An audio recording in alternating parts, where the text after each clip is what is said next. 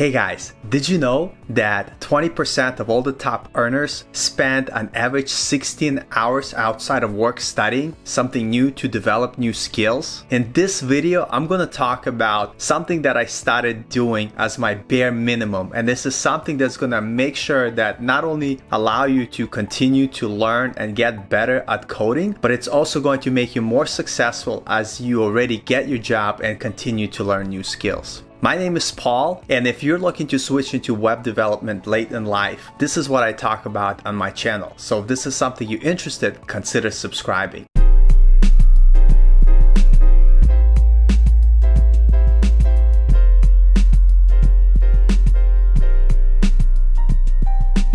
Okay guys, so this channel is not about the quick fix, not about becoming a developer in three months and making $100,000 a year, because that's not realistic. This channel is about putting in the work, learning to code, and getting the job of your dreams. But it takes work, it takes dedication. And a lot of us know this, but I still get questions of people saying, like, man, I just want to get my job making $100,000 a year. Just forget about that. If you're not putting in the work, you're not gonna make it. So here's the deal. In one of the studies that I just read, they said that the top earners in their class spent an average 16 hours at minimum studying outside of work. That means after you work your 8, 10, 11 hour day, they still spend one to two hours at home studying. So this is something that I took to heart and started to do. So instead of 16 hours, because I don't want to do 16 divided by 7, that's a weird number for me. So what I decided is that every day outside of my work schedule, I'm going to spend two and a half hours studying and developing and honing my skills. Two and a half hours, believe it or not, is not that much. I know what some of you guys are thinking. If you knew my schedule, I already don't sleep, you know, enough. I only sleep four hours a night and I don't have enough time to, I have family, I have this, I don't have time to dedicate two and a half hours. Well, listen to me. If you don't have two and a half hours in your day, you're doing something wrong. I'm gonna tell you how I broke it down and something that I do. Now, I normally sleep five hours, six hours, but I recently started to sleep eight hours because you need your rest. And so that time has to come from somewhere. So in my case though, if I really generally did not have time, meaning if I don't watch Netflix, if I don't do whatever, I would literally take one hour away from my sleep. So I would sleep seven hours. So that means I have one hour already for me to study. Now, most of us, we probably spend an hour and a half a day doing wasteful activities like walking around the house, doing some, like I'm sure you could find another hour and a half. That's your two and a half hours a day. If you're watching TV at night for more than two hours, take an hour of that away and add it to that other previous hour that you took away from your sleep. Basically, what I'm saying is that anybody could find two and a half hours, but this is the commitment you have to make. You have to commit to learning and having in your schedule two and a half hours that you don't miss of consistent study. The reason why I picked two and a half hours because it's easy math. So, is it easy math?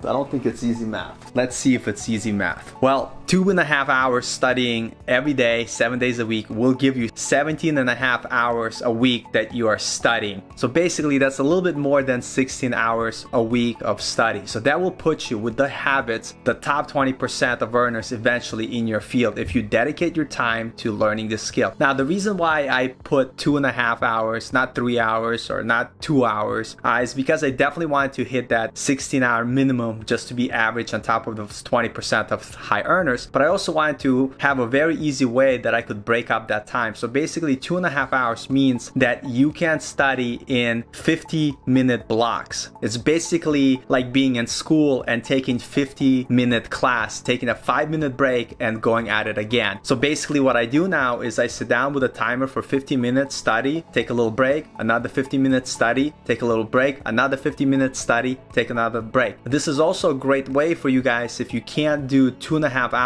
all in one go is to maybe wake up, do two sessions of 50 minutes, and then at night do an additional session of 50 minutes. So that way you're always getting your two and a half hours of study a day. Consistency is very important. I much rather have you guys study two and a half hours every day than try to cram every weekend. Because if you study on the weekend, even if you spend 16 hours studying on the weekend, throughout the week, if you don't do anything, you're gonna start forgetting things. The most important thing is consistency consistency over time. If you're really serious about becoming a web developer or learning to program and getting ahead in life in general, you need to dedicate at least two and a half hours of your time to study. And again, if you're arguing with me that you don't have two and a half hours, I don't know what to tell you. If I could find two and a half hours in my life, you could find two and a half hours in your life. If you cannot find two and a half hours to better yourself, to better your future, if the answer is no, then you probably shouldn't be watching any of my videos or trying to do anything. You have to get serious, dedicated, and cut and prioritize time in your life for study. So, as a minimum,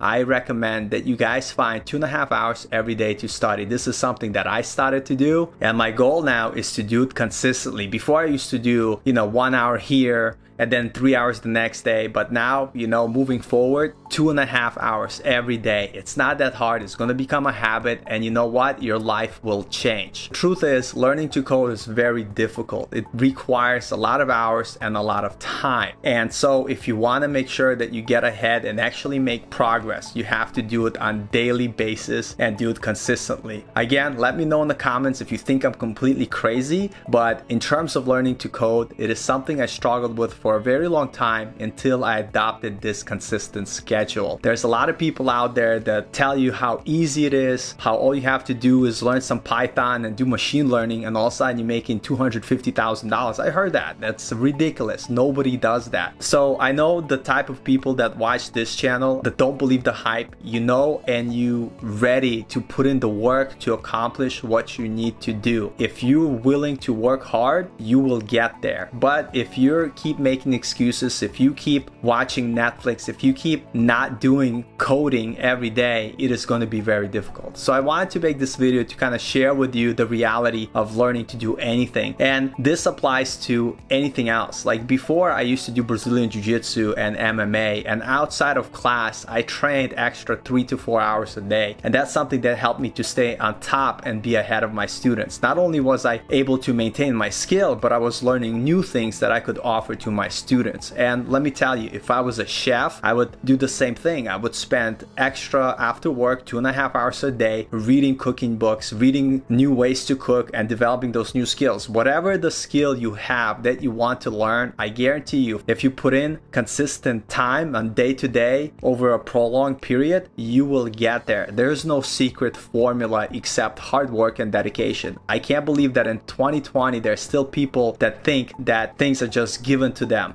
They're not. You have to struggle. A lot of times, some of these go happy videos that you see online about learning to code, what they don't tell you is they don't tell you their struggle. They probably made it and they're just trying to talk about how cool they are because they made it or whatever, some courses. But the truth is, when you start coding, you will realize that it's difficult and you will just want to quit. Most people do quit. But people that don't quit, they realize that what it will take to succeed is putting in the hard work every day and continue studying, continue learning for the rest of your life. Hey, if you don't want to study for the rest of your life, programming is not for you. I'm telling you right now because I remember learning something and then six months down the road, uh, th- th- that knowledge was already irrelevant. Like I had to learn new things. Everything is evolving in this field. Anyway, again, I don't make these videos to discourage you. I just want to be honest with you. So if you want to be in the the top 20% of earners eventually because you put in the work, well, start putting in two and a half hours at the minimum of coding every day. Anyway, you could like it, dislike it, I don't care. I just want to be honest and truthful with you. If you have any comments, please let me know in the comments below. And if you hated this video for whatever reason, how can you hate me?